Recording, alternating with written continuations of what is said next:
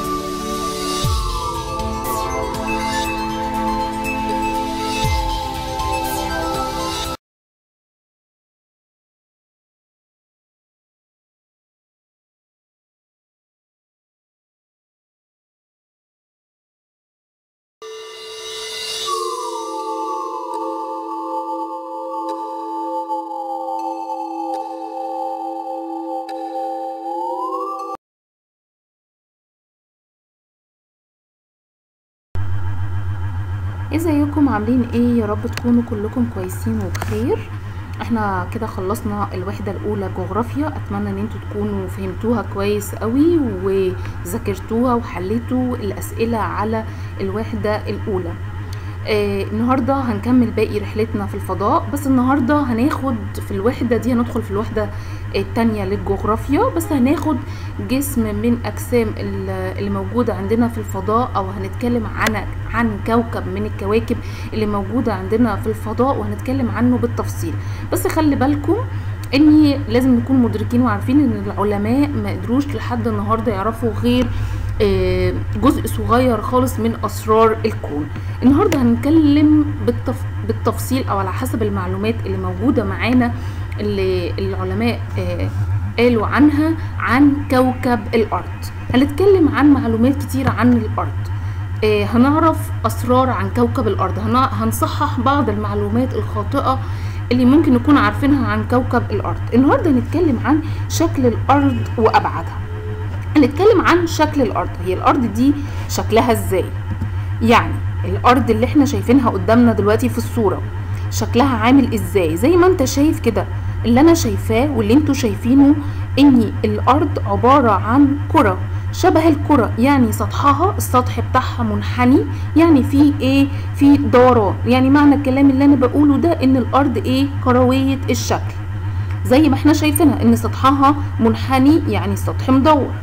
طيب إزاي الكلام اللي أنا بقوله ده وأنا لما باجي ببص على الأرض اللي أنا ماشي عليها سواء في البيت في الشارع في, في جنينة في أي مكان بلاقي إن الأرض إيه عبارة عن سطحها مستوي.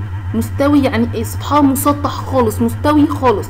لا بحس بانحناء ولا بحس بدوران. طب إزاي الكلام اللي أنا بقوله ده؟ يعني مثلا لما بنيجي نمشي في الشا... في الشوارع بنلاقي الأرض إيه مسطحة ومستقيمة مستوية خالص. مش بنلاقيها شبه الكرة ولا بنحس إن فيها إيه أي انحناء. طب إزاي كل الكلام ده؟ إزاي الأرض فيها كل الكلام ده؟ تعال أقول لك على سؤال وهفهمك من خلاله بس قبل ما أقول لك أو أقول لك على السؤال ده وقبل ما ندخل في الموضوع بالتفصيل إيه رأيكم تشوفوا وتبصوا على الفيديو ده؟ آه الفيديو ده هيوضح لكم أكتر وهتتخيلوا أكتر وهتتعمقوا أكتر معايا في آه كوكب الأرض. كوكب الأرض لما بنشوفه من بره شكله يعني زي ما إحنا شايفينه كده في الصورة هنلاقيه شبه شكل الكرة. لو حركناه شمال أو يمين وهو في الصورة هنلاقيه إيه؟ شكل الكرة. لو جبناه من فوق لتحت وشقلبناه وهو في الصورة هنلاقيه برضو إيه؟ شكل الكرة. لكن لو جينا عملنا زوم على كوكب الأرض قربنا منه قوي قوي قوي تمام؟ هنلاقي فيه إيه؟ هنلاقي إن سطح الأرض زي إيه؟ زي ما يكون مستوي. يعني مثلا لو اخترنا إيه دولة أو مكان زي الهند مثلا. وجينا بصينا عليه هنلاقي إن الهند دي مستوية يعني سطحها مستقيم مسطح خالص.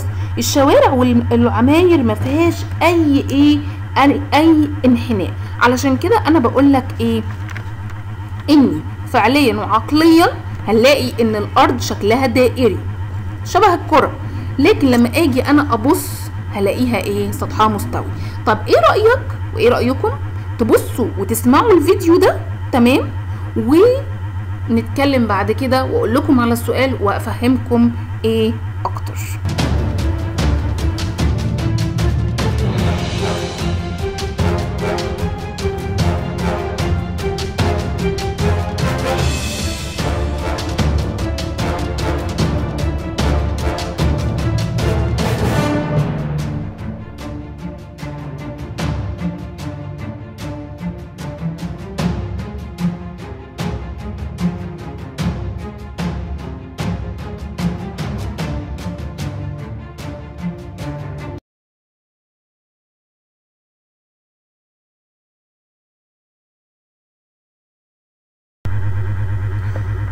آه أنا كنت قلت لكم في, أو في في بداية الدرس إني أنا لو عملت زوم على كوكب الأرض وقربت منه قوي هشوف سطح الأرض إيه؟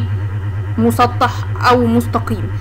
طبعا لو أنا بعدت عن آه الأرض وشفتها من بره زي ما كنا شايفين في الفيديو أو في في الصورة آه اللي فاتت هنلاقي إيه؟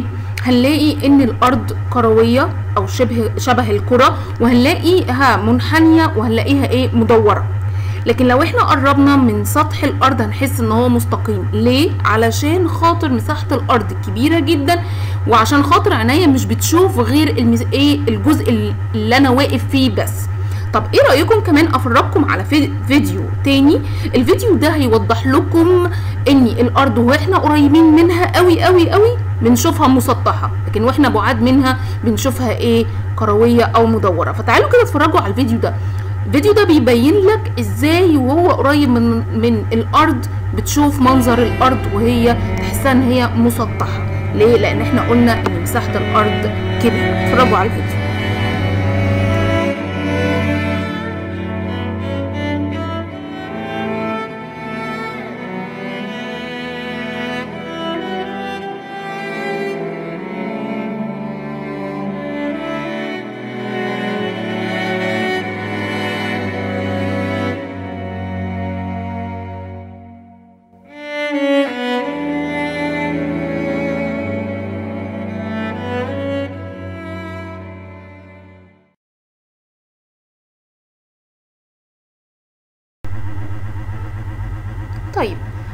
سمعنا الفيديو وبعد ما تخيلنا وبعد ما شرحنا ال ال السؤال وقلنا ليه إزاي الأرض ليه منحنية وليه آه مسطحة أو إزاي كده أو إزاي كده.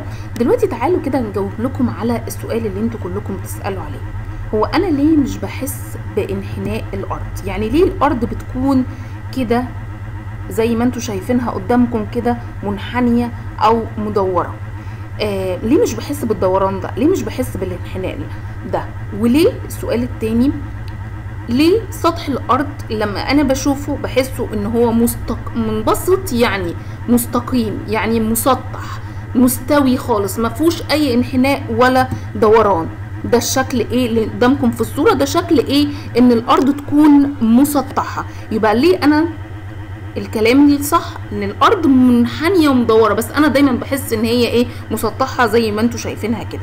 علشان خاطر اني أنا عينيا مش بتشوف غير مساحة صغيرة جدا من مساحة الأرض لأن مساحة الأرض مساحة كبيرة جدا جدا. فاكرين لما كنت بقول في المقدمة إن أنا الأرض شايفاها من بره إيه كروية شايفاها منحنية شايفاها إيه مدورة وده اللي قلنا عليه فعليا. لكن أنا لو جيت عملت زوم للأرض وقربت من الأرض قوي قوي واخترت دولة هلاقي السطح بتاعها إيه؟ مسطح أو مستوي خالص. لأن عينيا مش شايفة غير المساحة الصغيرة اللي أنا واقف عليها. مش نظرا إن مساحة الأرض كبيرة فأنا عينيا مش جايبة كل إيه؟ كل سطح الأرض ده. طيب يبقى إحنا كده متفقين إن الشكل العام للأرض يشبه الكرة تقريبا.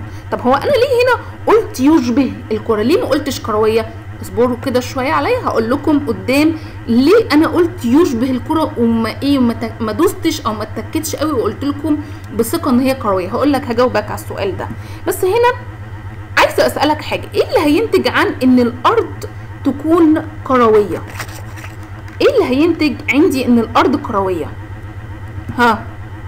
أول حاجة اختلاف توزيع أشعة الشمس على الأرض. إن الأرض لو كانت مسطحة زي الصورة اللي, اللي فوق يعني مستقيمة فبالتالي إن الأرض هتاخد إيه؟ هتاخد الشمس هتنزل عليها كلها. شايفين الصورة اللي قدامكم؟ الشمس هتنزل عليها كلها بشكل عمودي مباشر عليها. فبالتالي هنلاقي إن الأرض كلها واخدة أشعة الشمس والضوء من من الشمس. فبالتالي مش هيكون في تنوع في الحياة ولا في المناخ ولا في الكائنات الحية. هنلاقي إن الحياة ماشية على سطح الأرض بروتين واحد وده هيخلي حدوث خلل في الحياة وخلل في النظام البيئي وخلل في النظام الكوني اللي ربنا خلقه.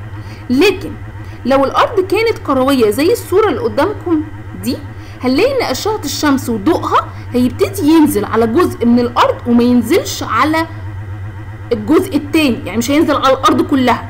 هنلاقي إن الجزء نص الأرض اللي مواجه للشمس هو اللي هياخد الشمس. تمام؟ وبالتالي كده هيبقى فيه نهار.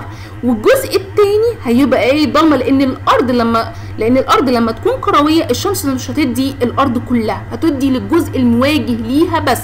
فبالتالي هيكون في تنوع في المناخ والحياة والنبات وتنوع في الكائنات الحية اللي موجودة على سطح الأرض. فهمنا كده؟ يبقى لازم الأرض تكون كروية. لما بتكون كروية نص الأرض اللي مواجه للشمس هو اللي هياخد الضوء والحراره من الشمس. والنص التاني اللي بعيد عن الشمس زي ما أنتم شايفين كده هيبقى مظلم. فبالتالي هيبقى في تنوع في الحياة. لكن لو كانت الأرض مسطحة زي يعني مستقيمة يعني مستوية زي الصورة اللي قدامكم هنلاقي الشمس هتنزل عمودية مباشرة. فبالتالي سطح الأرض كله هياخد إيه؟ هياخد الشمس دي. فبالتالي مش هيبقى فيه تنوع في الحياة. تعالوا كده هنجاوب على على هسألكم سؤال تاني وهنجاوب عليه.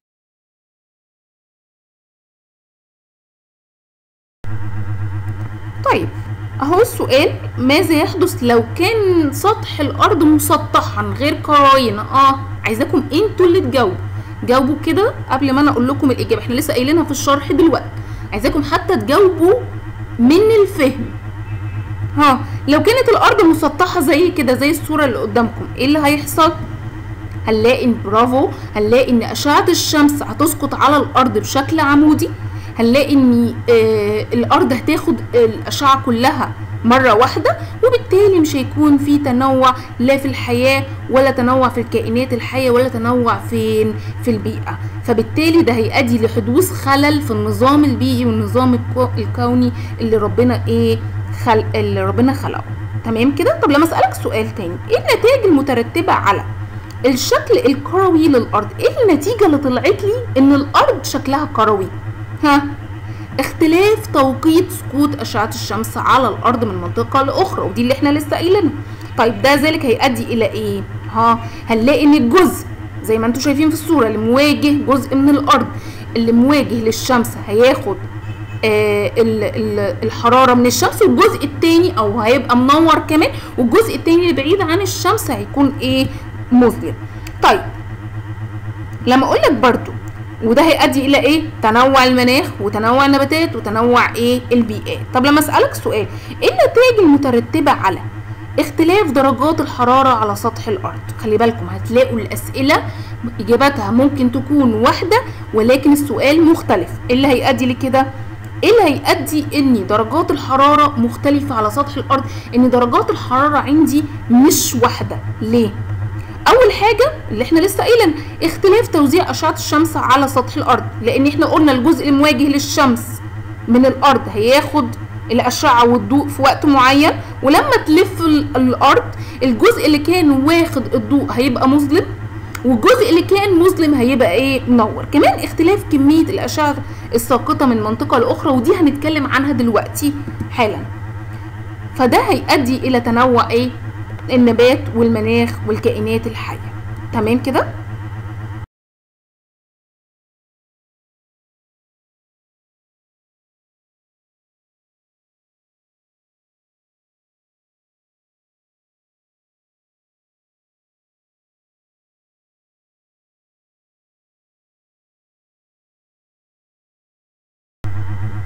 طيب بعد ما اتكلمنا على آه على آه آه إذا كانت الأرض مسطحة ولا كروية واتأكدنا إن الأرض كروية تمام أو شبه الكرة وعرفنا لو الأرض كانت مسطحة كان إيه اللي ممكن يحصل وقلنا إن الأرض لو مسطحة مش هيبقى فيه تنوع في الحياة ولا تنوع في البيئات ولا تنوع آه، في درجات الحرارة وقلنا إن الأرض هتاخد كل أشعة الشمس كاملة منها.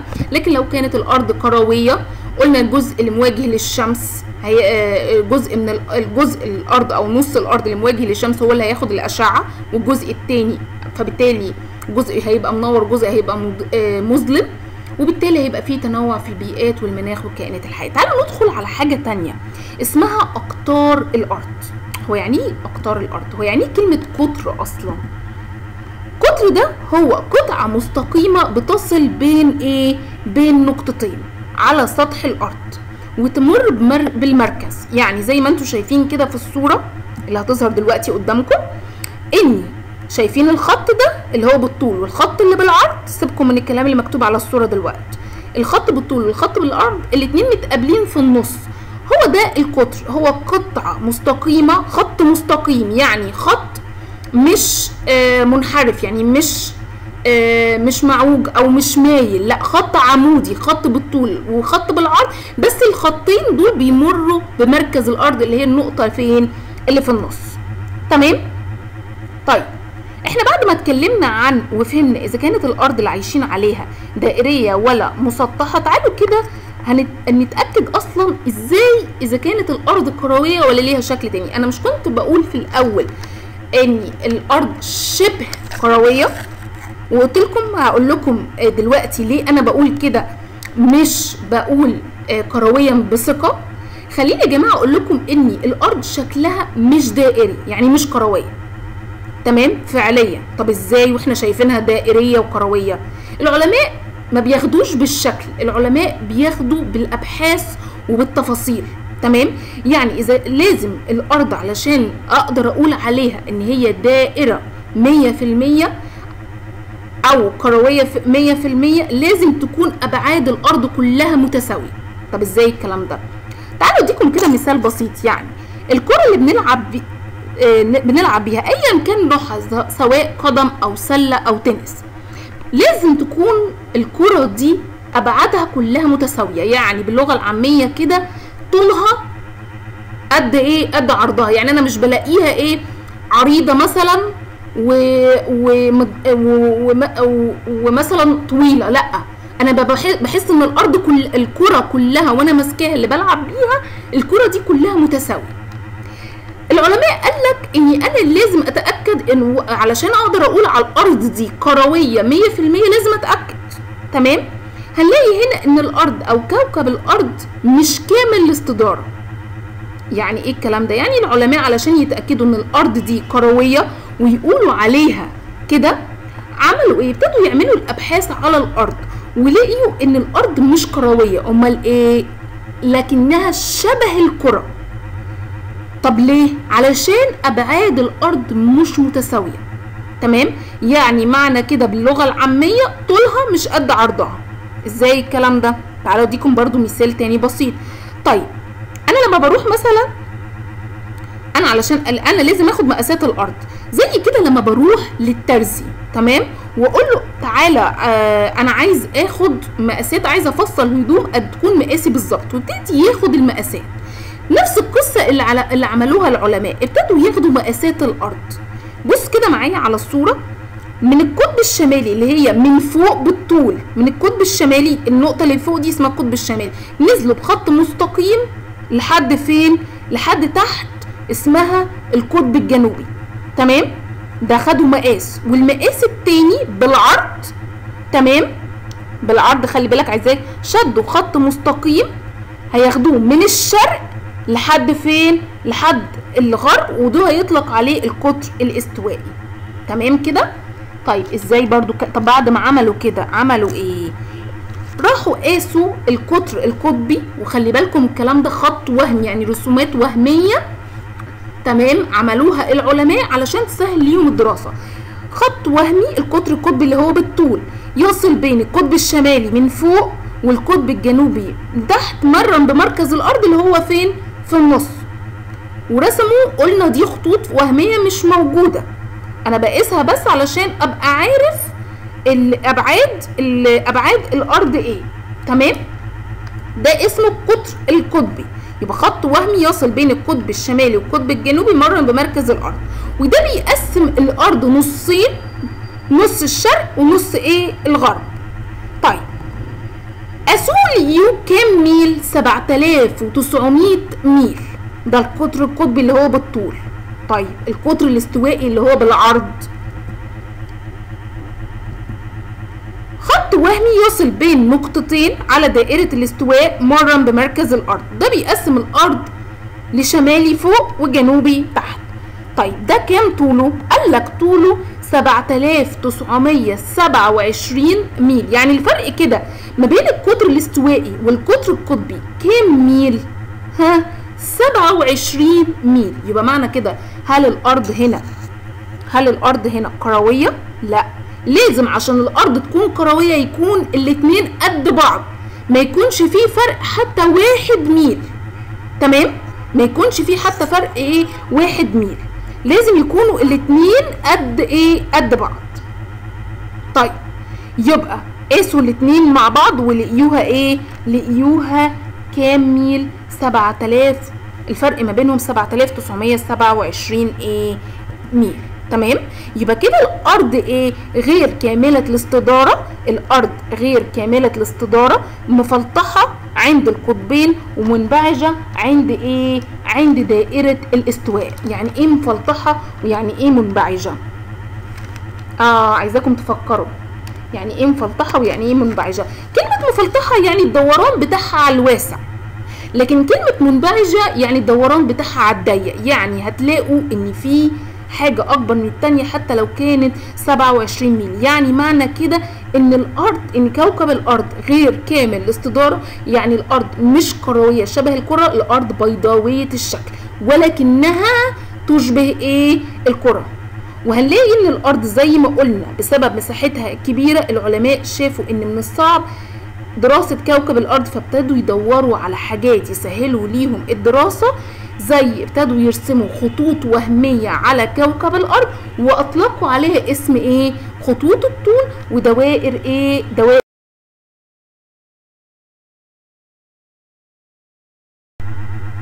قبل ما نتعرف على خطوط الطول ودوائر العرض تعالوا كده نشوف شوية أسئلة نقدر نجاوبها إحنا اتفقنا إن الأرض إيه مش كروية تماما الأرض إيه شبه الكرة. الأرض بيضاوية الشكل. ليه؟ لأن القطر الاستوائي مش قد القطر إيه؟ قد, قد القطر القطبي. طب تعالوا كده نسأل شوية أسئلة. وادي الرسمة قدامكم. وعرفنا كل واحد مقاساته إيه. لما أقول لك بما تفسر القطر الاستوائي أطول من القطر القطبي. ليه؟ آه لأن الأرض كرة غير كاملة الاستدارة. مفلطحة عند القطبين ومنبعجة عند دائرة إيه؟ دائرة الاستواء. وإحنا قلنا يعني إيه مفلطحة ويعني إيه منبعجة. مفلطحة قلنا يعني الدوران بتاعها على الواسع دوران الكرة نفسه. ومنبعجة قلنا الدوران بتاعها على إيه؟ على الضيق. طب تعالوا كده أسألكم سؤال تاني بس عايزاكم تفكروا. لك ماذا يحدث إذا كانت الأرض كاملة الاستدارة؟ إيه اللي هيحصل لو الأرض كلمة كاملة الاستدارة يعني كروية؟ يعني أبعادها كلها متساوية. ها؟ هنلاقي إن القطرين القطبي والاستوائي متساويين في الطول. طيب لما أسألك سؤال تاني لما أقول لك بما تفسر الأرض ليست كاملة الاستدارة. ليه؟ خلي بالكم هنلاقي الإجابات واحدة بس. السؤال هنا أنا جايباه بأكتر من طريقة مختلفة عشان تبقوا عارفين إن هو ممكن يغير في معنى السؤال. ليه؟ لأنها منبعجة قليلا عند خط الاستواء ومفلطحه عند القطبين. ده رقم واحد. رقم اتنين لأن القطر الاستوائي أطول من القطر القطبي والفرق ما بينهم كام ميل؟ سبعة وعشرين ميل. طيب إيه النتائج المترتبة على إيه النتيجة اللي هتطلع لي من وراء عدم تساوي أقطار الأرض؟ هنلاقي إن الأرض غير كاملة الاستدارة غير كروية شبه الكرة وهنلاقي إن الأرض مفلطحة عند القطبين ومنبعجة عند خط إيه الاستواء طيب لما أقول لك إيه النتائج المترتبة على زيادة الطول القطر الاستوائي عن القطر القطبي ب 27 ميل؟ ها هنلاقي الأرض أصبحت غير كروية ولكن أو غير كاملة الاستدارة. كلهم معانيهم واحدة كلهم صح. بل منبعجة عند خط الاستواء ومفلطحة عند قطبين هتلاحظوا هنا في كل الأسئلة دي إن الإجابات تعتبر واحدة. بس الفرق إيه؟ إن السؤال مختلف أو السؤال بيجي بطريقة مختلفة. فأنا عايزاكم تركزوا في الحتة دي. طيب تعالوا كده نتعرف بقى على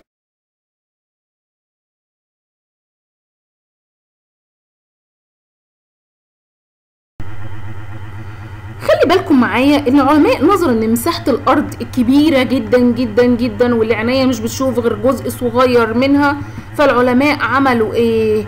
قال لك لا ده مساحة الأرض كبيرة وتفاصيلها كتير. فإحنا لازم نرسم حاجات خطوط وهمية. تمام؟ الخطوط الوهمية دي آه هنرسمها علشان تسهل لينا إيه؟ تسهل لينا الدراسة. طيب عملوا إيه؟ رسموا حاجة اسمها خطوط طول ودوائر عرض. خطوط بالطول زي ما أنتم شايفين في الصورة كده ودوائر بالعرض زي ما أنتم شايفين في الصورة اللي جنبيها. وخدوا الخطوط اللي بالطول والدوائر العرض حطوها على مجسم الكرة الأرضية وعلى الخرايط الخرايط ايا كان خريطة العالم أو أي خريطة خدوا كل الخطوط والدوائر دي حطوها على مجسمات للكرة الأرضية وعلى إيه؟ وعلى الخرايط طيب يبقى لما أقول لك إيه خطوط الطول ودوائر العرض عموما هي خطوط ودوائر وهميه يعني مش موجودة على كوكب الأرض. طب العلماء رسموها ليه؟ رسموا العلماء على الخرائط وعلى مجسمات الكرة الأرضية علشان تساعدهم فين وتسهل ليهم الدراسة. أنا بشبهها بإيه؟ بشبهها لما يكون عندك مسألة في الماس. والمسألة دي أنت عايز تكتب خطوات مش في الحل. أنت عايز تكتب خطوات كده في ورقة على جنب عشان بالخطوات دي تقدر تسهل ليك حل المسألة. فبتروح تعمل إيه؟ بتكتب تطلع ورقة كده وتبتدي تكتب خطوات المسألة بتاعه الماس دي ومن الخطوات دي بتطلع الحل وبتساعدك في الحل. نفس القصة ده اللي العلماء عملوه. ابتدوا يرسموا خطوط وهمية ودوائر وهمية مش موجودة أصلا على كوكب الأرض. الهدف منها إن هي تساعدهم في الدراسة علشان خاطر كوكب الأرض مساحته كبيرة جدا وتفاصيله كتير. تمام؟ طيب تعالوا كده ناخد أول حاجة معايا وهي خطوط الطول. خطوط الطول دي ويعني إيه وهتفيدهم في إيه وهتعمل بي... هيعمل بيهم إيه؟ خطوط الطول دي يا جماعة عبارة عن خطوط بالطول وهمية. خلي بالكم من قصة وهمية يعني العلماء هم اللي رسموها. تمام؟ عبارة عن أنصاف دوائر نص دايرة. تمام؟ أنصاف دوائر بالطول. بس وهمية زي ما إحنا قلنا. تمام؟ بتبتدي من القطب الشمالي من فوق وتنتهي بالقطب الجنوبي من فين؟ من تحت. زي ما أنتم شايفينها في الصورة اللي قدامكم عبارة عن انصاف دوائر نص دايرة. بتبدأ من القطب الشمالي شد خط مستقيم لحد القطب الجنوبي تحت. تمام؟ طيب والخط الرئيسي اللي هو شايفينه باللون الأحمر ده اسمه خط جرينتش ده الخط الرئيسي اللي هيقسم الأرض نصين. اللي هيقسم الأرض إيه؟ نصين. تمام؟ نص الأولاني شرق هيقسم الأرض نصين شرق وغرب. هيقسم الأرض إيه؟ نصين شرق وغرب ونصين متساويين. والخط ده اللي لونه أحمر اللي ادوله اسم آه جرينتش هيبقى رقم هيبقى هيبقى الرقم بتاعه صفر. علشان من بعديه هبدأ أعد أنصاف الدوائر دي لكل دايرة ليها رقم. تمام؟ هبدأ أعد يعني من بعد الصفر واحد اتنين تلاتة لكل نصف دايرة يبقى ليه رقم. بالترتيب خلي بالكم لحد ما هنوصل للرقم اللي هقول لكم عليه دلوقتي. يبقى يعني إيه؟ قبل ما أدخل في نقطة تانية يعني إيه خطوط الطول؟ أو ما المقصود بخطوط الطول هي أنصاف دوائر وهمية بتبدأ من القطب الشمالي فوق وتنتهي عند إيه؟ القطب الجنوبي. تمام كده؟ طيب هي خطوط متساوية في الطول وغير متوازية لأنها بتتلاقى عند إيه؟ القطبين. طب كام عدد إحنا قلنا اللي بيتن... اللي, بي... اللي اللي اللي بيقسم الأرض نصين متساويين؟ اسمه إيه؟ اسمه خط جرينتش وده خط الطول الرئيسي. طب أنا قاعدة بقول أنصاف دوائر أنصاف دوائر. طب هي عدد أنصاف الدوائر بتاعت خطوط الطول دي كلها كام على بعض؟ 360 خط. بس أنا هنا قلت لك كلها على بعض. طب لما أجي اقسمها لأن هو خط جرينتش قسم أرض الأرض نصين شرق وغرب هنقسمهم بالتساوي. 180 موجودين في شرق خط جرينتش و180 موجودين في غرب خط جرينتش. 180 خط و180 خط. طيب إحنا قلنا إن خط الطول الرئيسي اللي هو خط جرينتش درجته. رقمه كام؟ صفر. من بعديه هبتدي أعد في الشرق لكل نصف دايرة رقم. هيبداوا يترقموا من واحد اتنين تلاتة لحد 180 ونفس القصة في الغرب. في الغرب خط الطول الرئيسي صفر هبتدي أعد إيه واحد اتنين لكل نصف دايرة. طيب تعالوا كده نكمل مع بعض. بعد كل الكلام اللي إحنا قلناه ده وشغالين نقوله هي هل خطوط الطول دي أصلا ليها أهمية ولا مجرد رسومات إحنا بنرسمها وتقسيمة والكلام ده كله؟ لا طبعا خطوط الطول ليها أهمية وليها أهمية كبيرة جدا. ان أنا من خلال خطوط الطول بقدر أحدد إيه مكان مكان أو موقع الدول سواء كان آه، دولة أو مدينة أو حتى إنسان أو أي شيء موجود فين؟ موجود في الشرق ولا في الغرب. تمام؟ لأني أنا بخطوط الطول كده هبتدي أشوف الدول اللي موجودة في الشرق هبتدي أحطهم في الشرق والدول اللي موجودة في الغرب هبتدي أحطهم إيه؟ في الغرب. طب معنى كده إن العلماء هيحطوا المدن أو المواقع دي في الشرق وفي الغرب هيحطوها كده أو هيوزعوا الأماكن دي والمواقع على الخطوط كده توزيع؟ عشوائي هقول لك لا. طبعا هيبتدوا يحطوا المواقع أو المدن أو أو الدول أو الأماكن دي هيبتدوا ي- يوزعوها طبعا بدراسة. بدراسة ان أنا هبتدي أشوف الأماكن اللي بتتفق مع بعض اللي موجودة مع بعض سواء مكان أو توقيت ودي الأهمية التانية بتاعة خطوط الطول. تمام؟ زي ما أنتم شايفين أهي الأرض متقسمة أدي القطب الشمالي فوق والقطب الجنوبي تحت شد خط مستقيم من فوق لتحت هو ده خط جرينتش. ودرجته زي ما أنا قلت صفر. بيقسم الأرض نصين لشرق وغرب. تمام؟ وهي عبارة عن أنصاف دوائر والكل نصف دايرة رقم. ببتدي أعد من بعد الصفر اللي هو خط جرينتش واحد اتنين تلاتة أربعة لحد ما هوصل ل 180 في الشرق ونفس القصة فين؟ في الغرب. طيب إحنا قلنا إن خطوط الطول بتفيدني في تحديد الموقع المكان شرق وغرب. مش بس كده كمان بتفيدني إني أنا أعرف إيه؟ التوقيت. أعرف الوقت الساعة يعني أنا مثلا هنا دلوقتي عندي في مصر دلوقتي مثلا الساعة 12 إيه الدول اللي بتتفق معايا إن نفس الساعة دلوقتي 12 عندهم؟ مش بس كده مش. مش مش بعرف التوقيت بس لأ كمان بعرف فروق التوقيت ما بين الدول. تمام؟ طب هو أنا بعرف فروق التوقيت ما بين الدول إزاي؟ أنتوا شايفين أهو في الصورة الخط الأحمر ده اللي في النص ده الخط الرئيسي اللي في النص ده اللي بالطول هو خط جرينتش وقلنا بيقسم الأرض نصين شرق وغرب أنا كل شوية بقعد أقولها لكم عشان تبقوا مركزين وفاهمين معايا.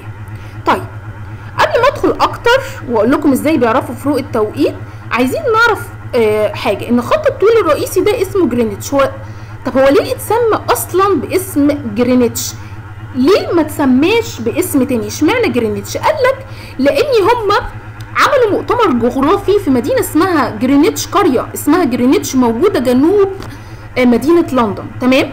ودي تعقد فيها مؤتمر جغرافي سنة 1884 ميلاديا والمؤتمر ده كان معمول مخصوص عشان يحددوا اسم خط الطول الرئيسي هيسموه إيه؟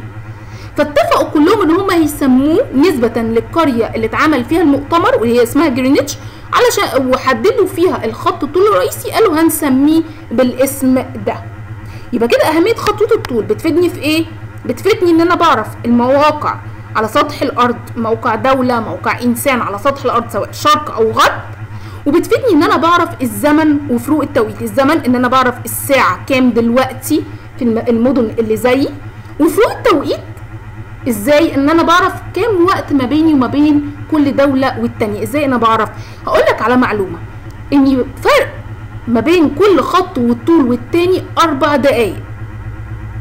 ما بين كل خط والطول والتاني أربع دقايق. ودي هتكلم عنها بالتفصيل دلوقتي. طيب أنا لما باجي بوزع الدول دي على آه على خطوط الطول بعمل إيه؟ ببتدي أشوف الدول اللي بتتفق في المكان يعني الدول اللي موجوده في الشرق وبتتفق في التوقيت أروح واخدها وحاططها على إيه؟ على خط.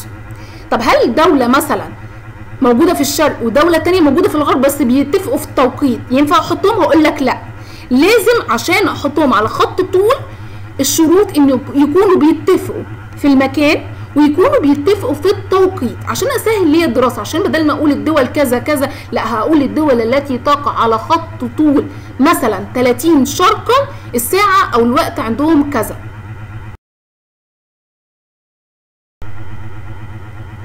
طيب ركز معايا. تعالوا كده نراجع مراجعة بسيطة. بصوا آه قبل ما ندخل على المسائل وهقول لكم إيه هي المسائل عايزكم تبصوا معايا على ال- الفيديو ده وهنراجع مع عليه مراجعة بسيطة كده ونعرف أكتر عن خطوط الطول. كل اللي إحنا قلناه دلوقتي هنراجعه قبل ما أدخل على الجزء اللي بعده. تمام؟ علشان خاطر نبقى الجزء ده اتفهم كويس قوي ادي عندنا خطوط الطول مع بعض. ادي خط جرينتش اللي في النص بيقسم الأرض نصين. شايفينه الأحمر ده؟ ده خط الطول الرئيسي ودرجته صفر وقلنا جر- جرينتش اتسمت نسبة لإلى القرية اللي موجودة في لندن وقلنا خطوط الطول أهي موجودة على الخريطة. وادي خط جرينتش وبيقسم الأرض نصين نص في الشرق ونص فين؟ في الغرب. وادي الأرقام قلنا لكل نصف دائرة رقم. تمام؟ قلنا عدد خطوط الطول كام؟ 180 خط. قلنا فرق ما بين كل خط وطول والتاني أربع دقايق. طيب عدد الخطوط كلها بتاعت الطول 360 خط وقلنا آه لكل خط طول 180 في الشرق و180 فين؟ في الغرب. ويبقوا مترقمين بالمنظر ده على الخريطة. طيب خط عدد خطوط الطول 360 خط الخط الرئيسي جرينتش وقلنا بيساعدنا في إن أنا بعرف الزمن والموقع بتاع ال- الأماكن أو الدول على سطح الأرض سواء في الشرق أو فين أو في الغرب. يبقى قلنا عدد خطوط الطول كلها 360 خط. 180 فين؟ في الشرق و180 في الغرب. خط الطول الرئيسي اللي بيقسم الأرض نصين اسمه خط جرينتش درجته صفر. من بعديه ببتدي أعد واحد اتنين تلاتة في الشرق لحد ما أوصل ل 180 ومن بعديه في الغرب بفضل أعد لحد لحد ما اوصل 180 قلنا إن خطوط الطول عبارة عن أنصاف دوائر وكل نصف دائرة ليه رقم. قلنا خطوط الطول بتساعدني إن أنا بعرف الزمن التوقيت على سطح الأرض والأماكن سواء في الش...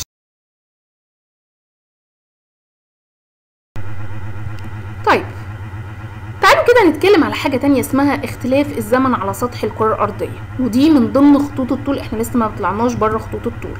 تمام؟ الزمن على سطح الأرض بيختلف من مكان لآخر باختلاف إيه؟ خطوط الطول. الزمن على سطح الأرض بيختلف من مكان لآخر باختلاف خطوط الطول. يعني هنلاقي في مدن بتتفق في توقيت واحد ومكان واحد زي ما أنا قلت بحطها على خط طول وبديله رقم تمام؟ ويعني قلنا إن أنا لما باجي العلماء لما بييجوا يوزعوا الأماكن والدول على خطوط الطول مش بيوزعوها أو مش بيحطوها عشوائي لأ بناء على دراسة تمام؟ ببتدي زي ما أنا قلت آه أشوف الدول اللي بتتفق في توقيت واحد ومكان واحد وابتدي أحطها على خط. عشان كده أسهل عليا الدراسة بدل ما كل شوية أقعد أقول أسامي البلاد بالمواقع بتاعتهم بالتوقيت. طيب هنلاقي مثلا لما أجي أديك مثال على إن في آه هقول البلاد التي تقع على خط طول مثلا 30 شرق خط جرينتش الساعة عندهم مثلا 6 تمام؟ طيب يبقى أنا كده نظمت إيه؟ نظمت ال- الدراسة وسهلت ليا الدراسة. طب عايز أسأل سؤال هنا. هو إيه السبب فرق التوقيت ما بين البلاد؟ يعني ليه البلاد مش كلها التوقيت بتاعهم واحد؟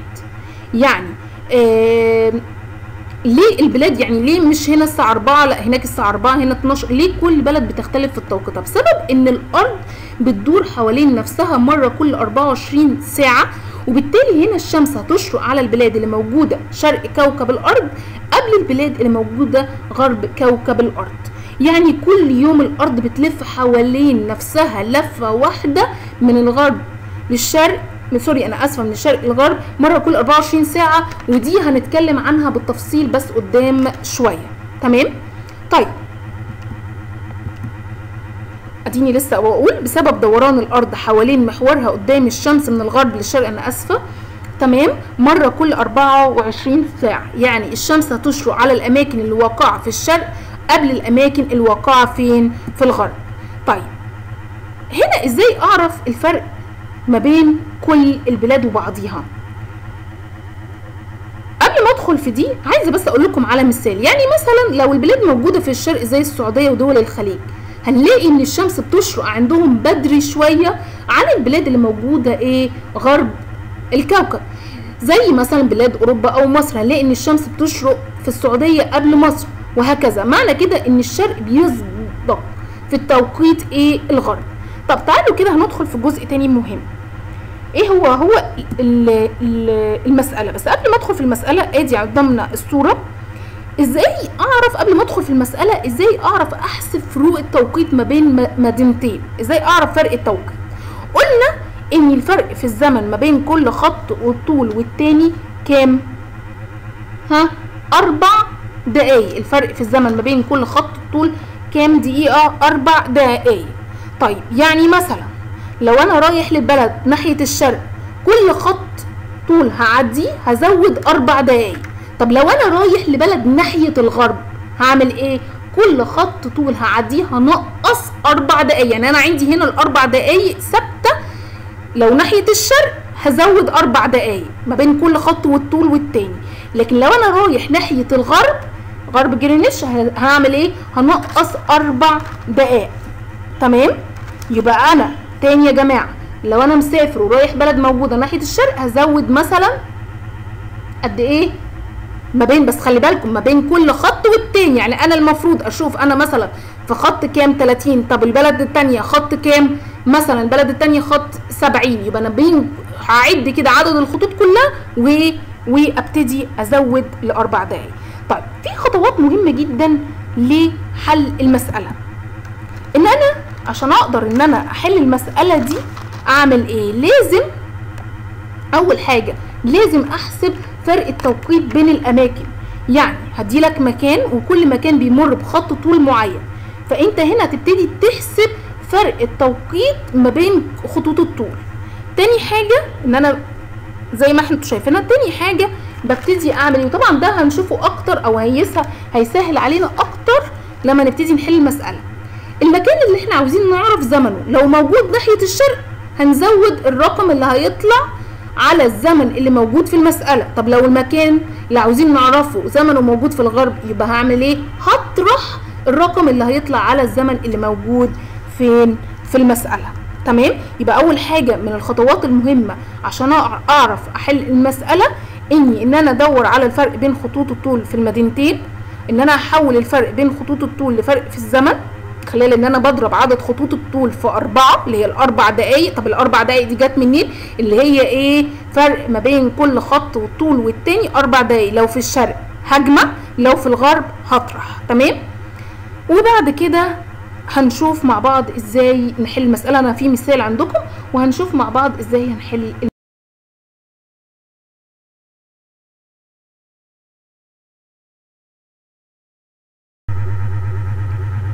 طيب بعد ما بعد ما عرفنا آه، المسائل أو إزاي نحل خطوات المسائل والعوامل المساعدة تعالوا كده هناخد مثال دلوقتي بس أول ما أديلك قبل ما أديلك المثال ده هراجع معاك نقطتين مهمين جدا إن أنا أول حاجة لازم أحسب فرق التوقيت بين الأماكن يعني هديلك مكانين وكل مكان بيمر بخط طول معين. تمام؟ فأنت هتطرح فرق بين خطوط الطول والفرق اللي هيطلع هتضربه فين؟ في أربعة. طيب إحنا قلنا إن الأربعة دي جت منين؟ اللي هي الأربعة بتاعت إيه؟ فرق ما بين كل خط طول والتاني. تمام كده؟ المكان اللي إحنا عاوزين نعرف زمنه لو موجود زي ما إحنا قلنا ناحية الشرق هنزود الرقم اللي هيطلع على الزمن اللي موجود في المسألة. طب لو المكان اللي عاوزين نعرف زمنه موجود في الغرب يبقى هنطرح الرقم اللي هيطلع على الزمن الموجود في المسألة. تعالوا كده نشوف مثال ونشوف هنحله إزاي. بيقولك إيه؟ بيقولك إذا كانت الساعة 12 ظهرا في مدينة لندن الواقعة على خط جرينتش فكم تكن الساعة في مدينة الإسكندرية الواقعة على خط طول كام؟ 30 شرق.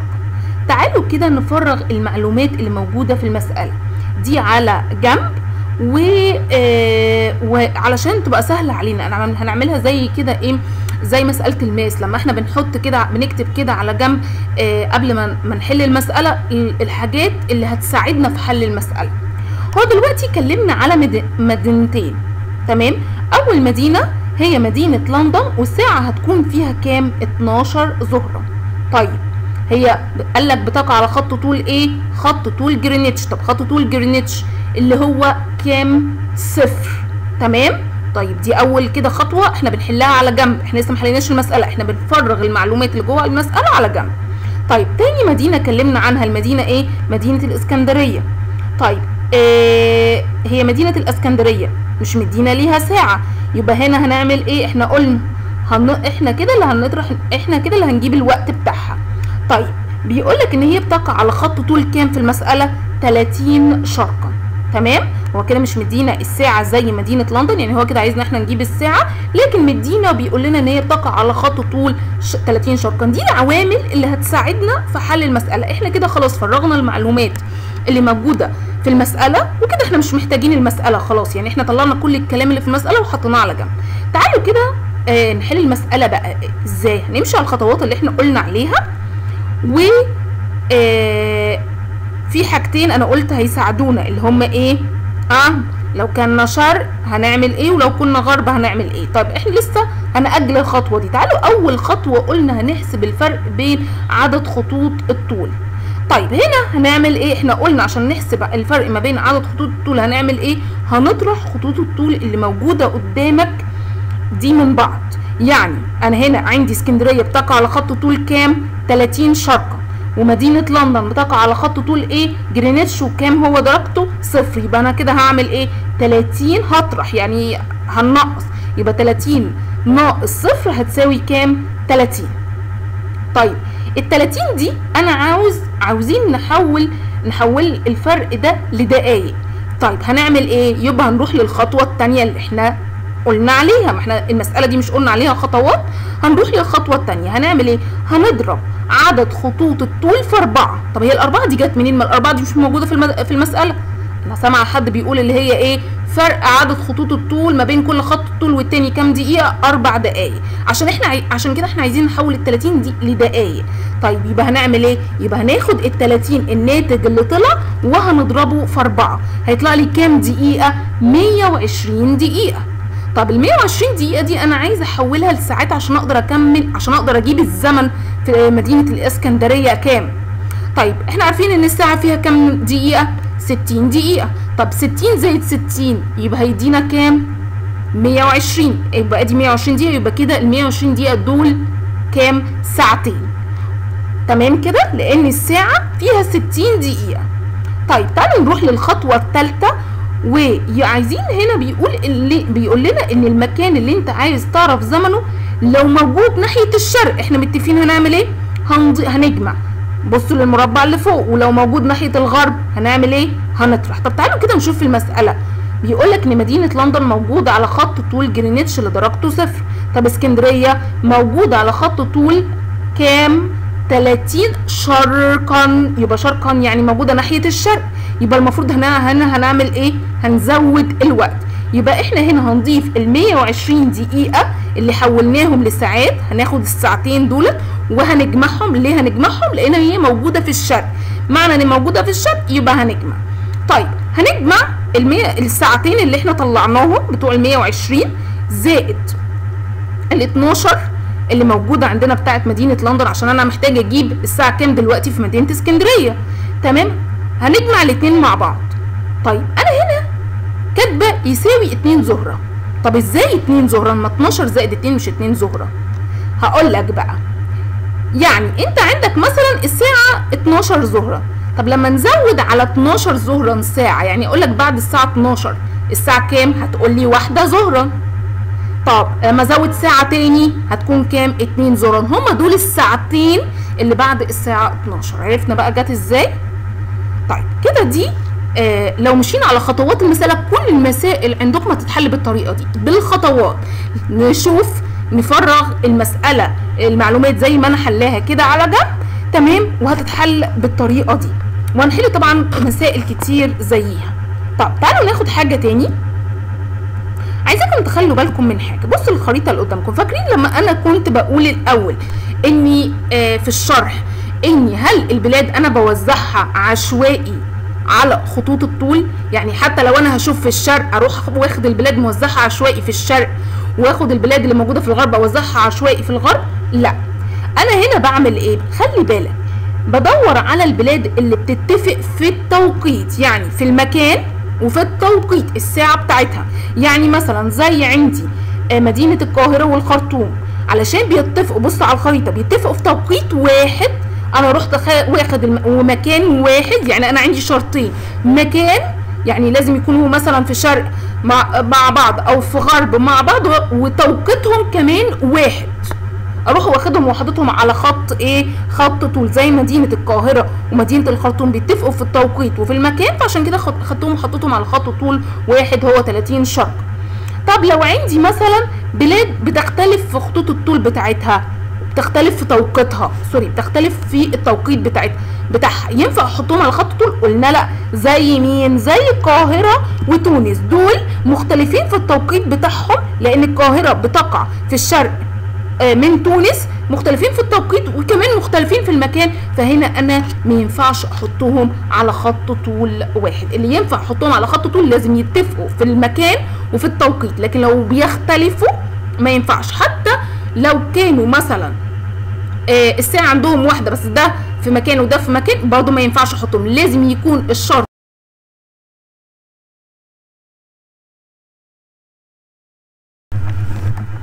طيب تعالوا كده ندخل في حاجة تا- في, مجموعة أسئلة على الجزء اللي خدناه كله عشان نعرف أكتر بيقولك بما تفسر اختلاف التوقيت من مكان لآخر على سطح الأرض أنا لسه قايلها في الشرح. قلنا بسبب دوران الأرض حوالين نفسها قدام الشمس من الغرب إلى الشرق مرة كل إيه؟ 24 ساعة. طب لما أقولك خلي بالكم هنا هتلاقوا في أسئلة زي إحنا متفقين بس مختلف هقول لك سؤالين دلوقتي زي بعض.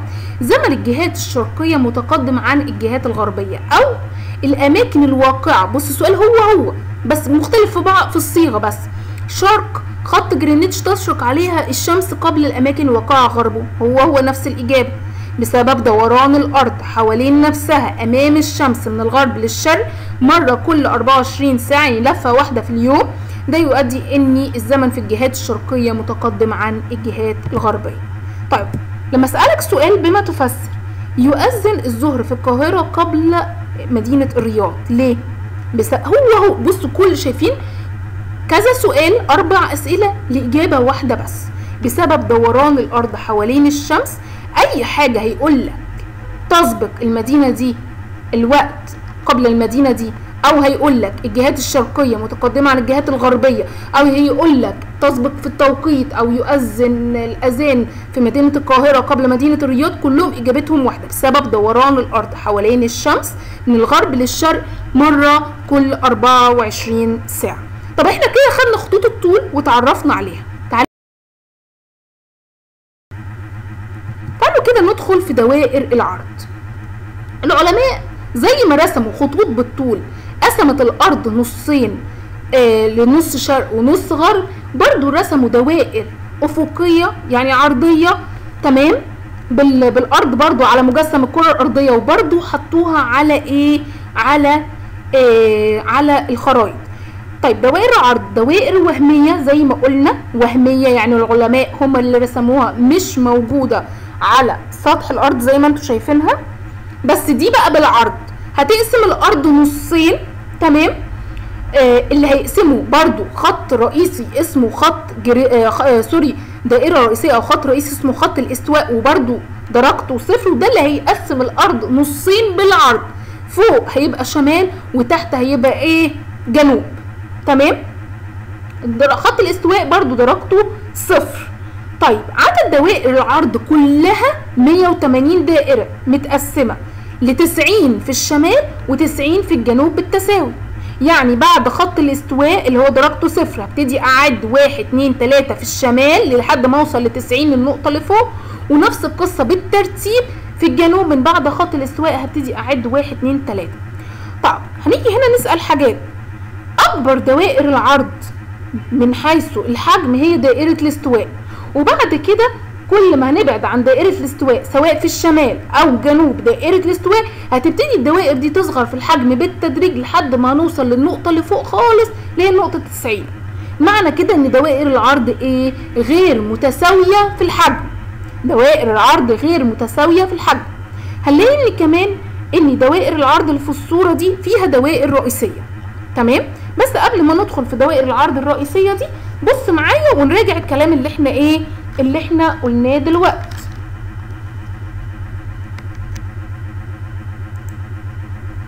ركز معايا. يبقى إحنا قلنا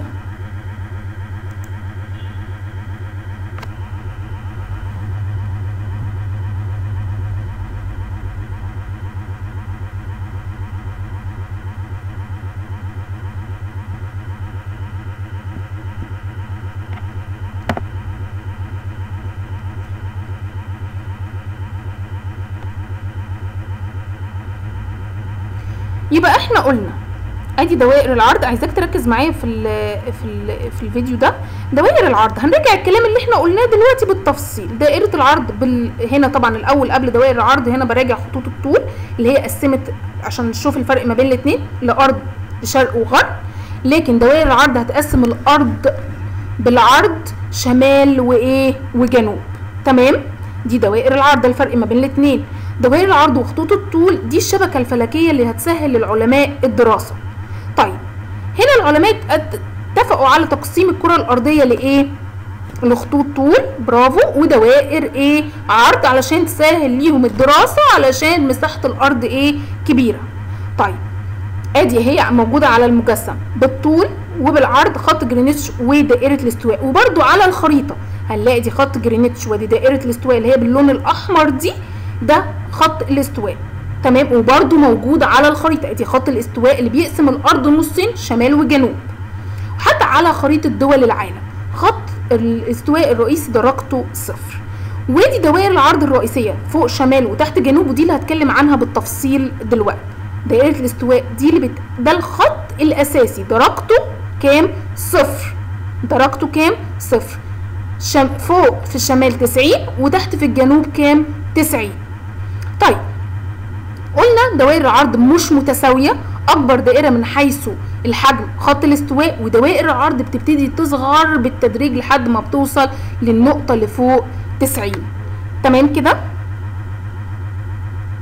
دي الدوائر الرئيسية اللي موجودة قدامكم ودي اللي هشرحها دلوقتي حالا بالتفصيل واللي هتساعدنا في أهمية دوائر العرض. وهنتكلم عن كل الأسئلة دي وهنجاوبها دلوقتي. دوائر العرض عددها 180 والخط الرئيسي خط الاستواء وأهمية دوائر العرض برضو هناخدها دلوقتي وهنتعرف عليها أكتر.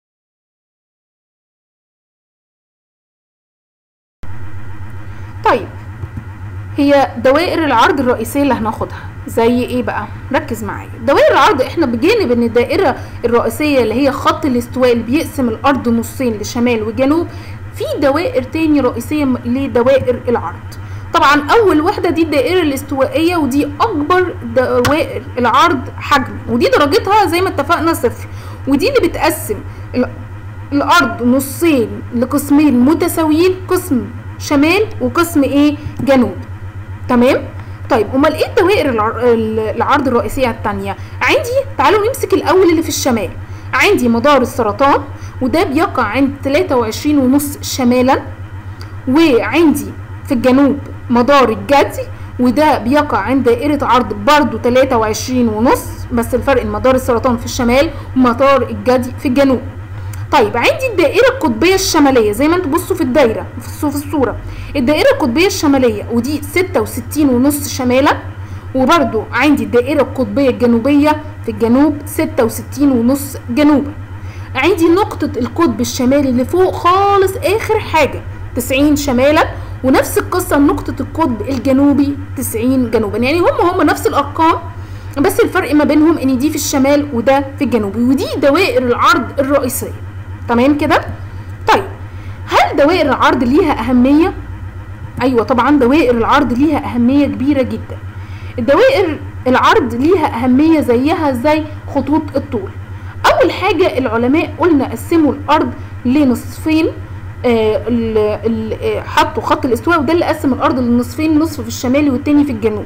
تمام؟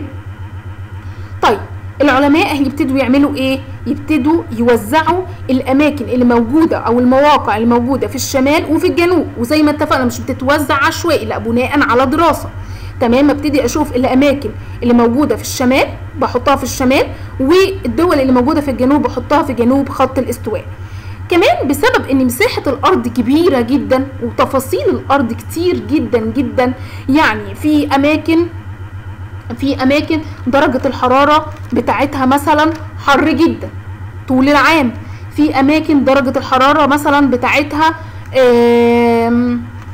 درجة الحرارة بتاعتها مثلا قطبية يعني تحت الصفر في أماكن باردة في أماكن دفيئة في أماكن بتقوم فيها ال ال الرياح أنواع معينة من الرياح في أماكن بتقوم فيها أمطار طوال العام وفي أماكن بتكون نادرة الأمطار. فالعلماء لقوا إن التفاصيل دي كتير جدا. فعملوا إيه؟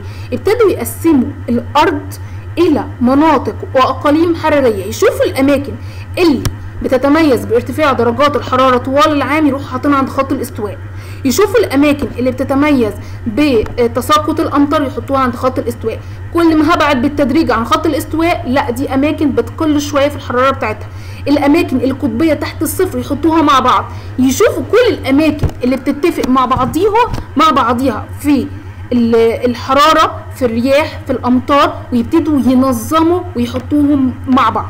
فانا كده سهلت عليا الدراسة بدل ما هم بعاد عن بعض أو أو مش محطوطين مع بعض.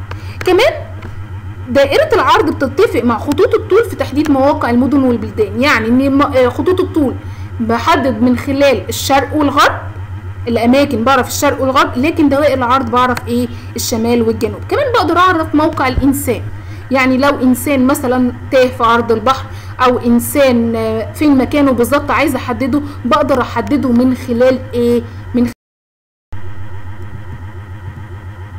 طيب قبل ما أدخل في الحاجة دي هراجع بس تاني معاكم. قلنا إن دوائر العرض بتفيد في تقسيم الكرة الأرضية لمناطق مناخية. قلنا مثلا زي فوق هنلاقي مناطق باردة زي القطب الشمالي أو القطب الجنوبي. دي مناطق بنلاقي فيها الجو تحت الصفر زي ما أنا قلت وبعد كده في مناطق بنلاقيها برضو آه باردة بس أرحم شوية من القطب في مناطق دفيئة في مناطق شديدة الحرارة كل ده من فوائد دائرة العرض إني أنا ببتدي أنظم المناطق دي وأحطهم مع بعض المناطق اللي بتتفق في الحرارة والرياح والأمطار بحطهم مع بعض عشان أنا كده أبقى إيه سهلت ليا الدراسة. طب لما أجي أعرف بقى موقع مصر بالنسبة لخطوط الطول ودوائر العرض. ادي خريطة مصر قدامك تمام؟ أنا عايزة أبص على الخريطة هنلاقي ان مصر بتقع ما بين دائرتي عرض 22 شمالا و31 ونص شمال. أي في نصف الكرة الشمالي طيب بتقع ما بين كام لكام خط طول؟ من 25 شرقا ل 37 شرقا. يعني في نصف الكرة الشرقي. طيب أنا عايزة أعرف عدد الخطوط اللي بتمر بيها مصر. هبتدي أعد. الخطوط اللي بتمر بيها مصر. يعني أنا عندي مثلا مصر من 25 ل 37 شرقا هبتدي أعد الخطوط من 25 ل 37 أشوفهم كده مصر متوزعة على كام خط طول؟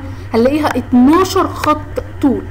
طيب لما أجي أقول مثلا دوائر العرض مصر موجودة على كام دائرة عرض؟ إحنا قلنا من 22 شمالا ل 31 ونص شمالا. هطرحهم من بعض هيطلع لي 9 ونص دائرة عرض مصر متوزعة على 9 دوائر عرض ونص. طيب لما أجي أقول لك مصر بيمر بيها بجنوب مصر دائرة عرض الرئيسية اللي هي دائرة إيه؟ مدار السرطان. طب تفتكروا كان كام؟ كان 23 ونص. يبقى كده إحنا عرفنا موقع مصر بالنسبة لخطوط الطول ودوائر عرض. كام خط طول بتمر بيهم مصر؟ 12 قلنا هنطرحهم من بعض. وكام دائرة عرض؟ 9 ونص دائرة عرض. كمان عرفنا ان اللي بيمر بجنوب مصر دائرة عرض رئيسية وهي إيه؟ دائرة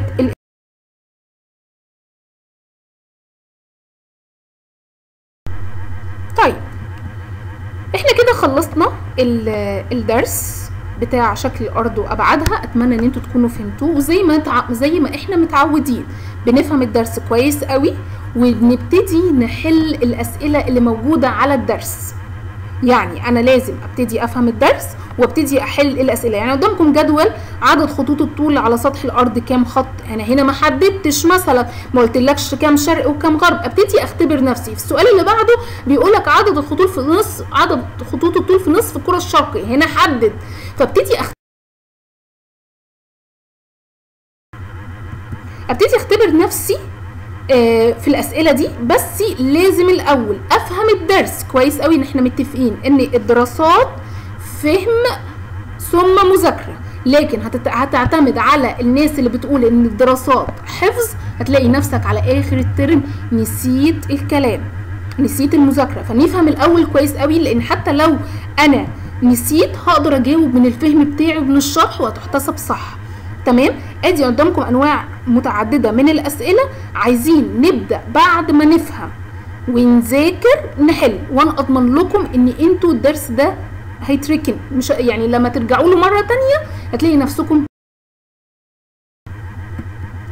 عندنا أسئلة كتير. مثلا قدامكم ده شكل آه تخطيطي. هنبتدي نمسك كل نقطة من النقط دي نعرف هي إيه ونروح كاتبينها.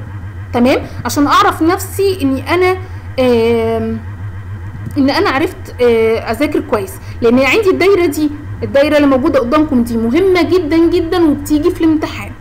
أتمنى إن أنتوا تكونوا فهمتوا الدرس وأنا هتواصل معاكم آه، تحلوا الأسئلة وتورين وتوروني إجابتها. وأنا هبقى معاكم لأي استفسار. ميرسي ليكم.